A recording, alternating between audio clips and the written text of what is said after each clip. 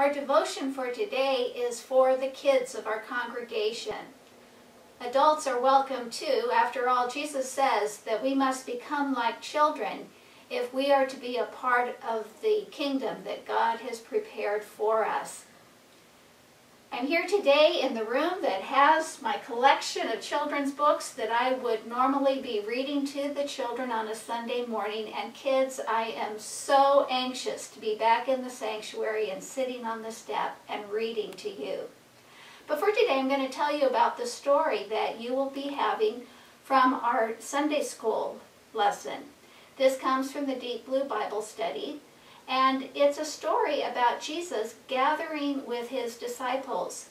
Just before Jesus was arrested by the soldiers, he washed his disciples' feet.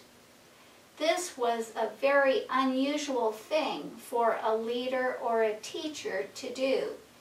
That was something that servants were meant to do. Jesus was teaching his disciples that we are to serve and care for one another. Back in Jesus' day, feet got really dirty. They didn't have nice paved roads or sidewalks, and so people were getting dirty feet as they walked about in all of the dust. If you went to someone's house for a meal, a servant would come and wash your feet. Now today we're not all that worried about our feet getting dirty.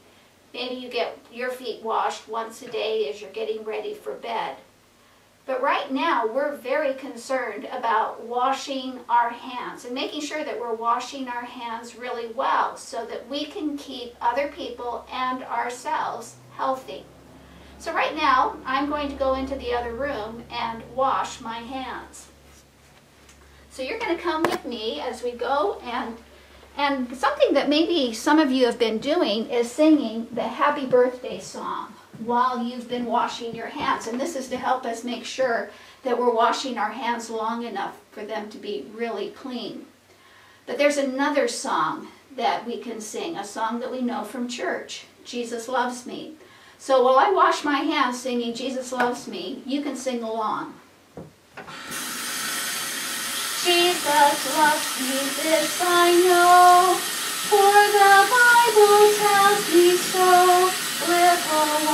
to him belong. They are weak, but he is strong. Yes, Jesus loves me. Yes, Jesus loves me. Yes, Jesus loves me. The Bible tells me so.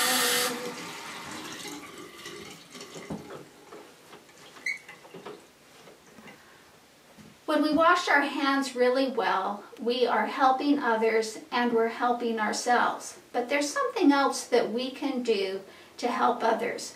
We can pray for them with our hands. So right now what I'd like to ask you to do is just hold up one of your hands and touch your thumb. And when you touch your thumb, you can say a prayer for the people who are closest to you. Your moms, your dads, your sisters, your brothers, your grandmas, your grandpas, aunts and uncles, cousins, friends, and neighbors. Then you can touch your pointer finger and think about the community helpers that are around us. Your teachers, nurses, doctors, other people who work in the hospitals, police officers, firefighters. You can touch your tall finger and pray for the leaders of our country. Then touch your ring finger and pray for people who are sick, who are lonely or sad. And then pray for yourself when you touch your pinky finger. Being a disciple of Jesus means that we are to help one another. As we help one another, we are showing them that Jesus loves them, and so do we.